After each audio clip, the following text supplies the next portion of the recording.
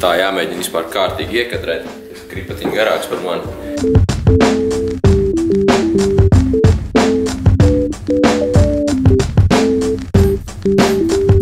Tā šobrīd uh, esmu kopā ar Dāvu Pērtānu, San Antonijas puses spēlētāju. Uh, es viņu gribu izaicināt bišķiņu arī uz, teiksim, tādu basketbola uh, elementu vienu. Uh, tas klasiskais variants, jā. Uh, tātad katram būs uh, trīs saņurcītas lapas, tātad trīs metieni. Tas, kas iemet no trīs vairāk uh, šajā miskastītē no aptuveni tā stūra, uh, tas neko nedara, bet zaudētājs pumpējās. Esi gatavs pumpēties? Um, strik, um, strik. Es jau uzvarēju pirmo reizi. Un tu izvēlējies uh, sākt mest vai arī Tu vari sākt droši.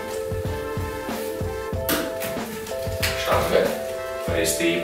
Kas tas sanāk? Tā ir stīva. Tā ir stīvi, jā. Šis spēlējās.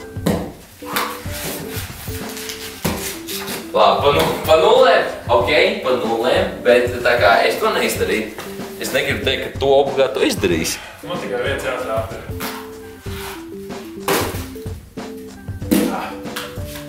Man pietika viena. Viss cieņa. Apakaļ, cik ilgi spēlēm bija? Trīs gājas man spēlē. Ā, nu tad, nu tā kā ir godīgi, viņš vinēja, ne?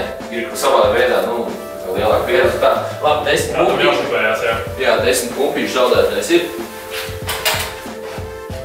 Viens, divi, divi, trīs, četri, pieci, seši, septiņi, astoņi, deviņi, desmit. Beigām jau sāk trīcēt. Jā, bet citi īstenībā nav mums viegli. Vispār sports kā tāds nav viegls.